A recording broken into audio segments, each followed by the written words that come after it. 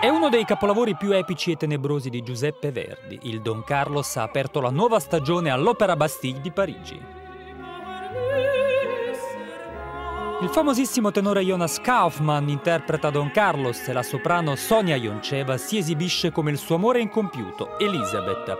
L'amore, l'idealismo politico, il tradimento e l'intrigo nella Spagna del XVI secolo sono al centro della trama.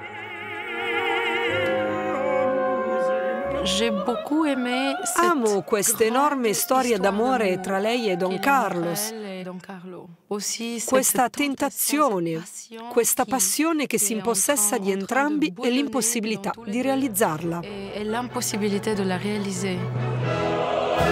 Per celebrare il 150 anniversario della prima opera parigina, il capolavoro è stato inscenato nella sua versione originale in francese.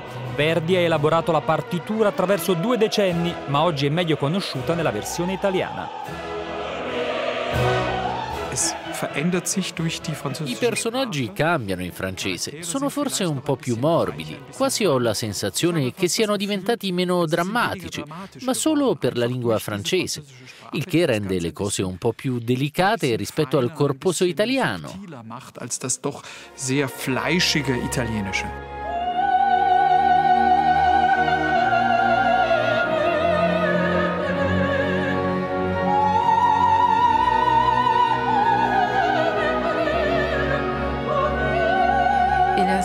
Quest'aria è magnifica.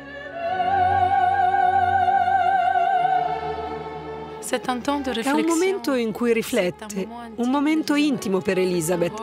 È un ruolo lirico, pieno di tanti colori. Verdi ha concepito la sua epica opera in cinque atti su una sonata di Friedrich Schiller.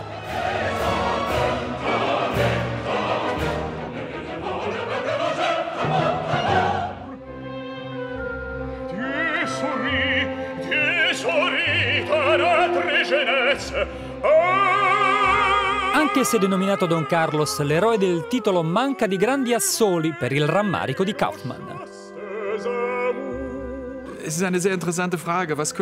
Kaufmann. Cosa avrei potuto dire a Verdi se avessi partecipato alla prima 150 anni fa?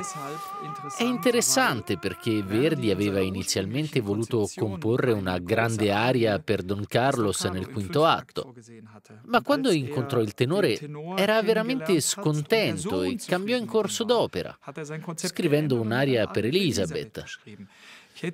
Beh, gli avrei detto scrivi un'aria per il tenore, del resto l'opera si chiama Don Carlos.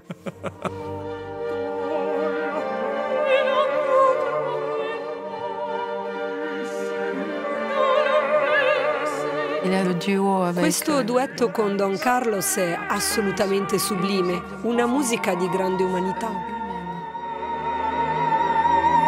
Si ha quasi la sensazione che Verdi abbia trovato un modo per squarciare il cielo e si possano vedere le scale che portano su. Entrambi sanno che può finire solo con la morte.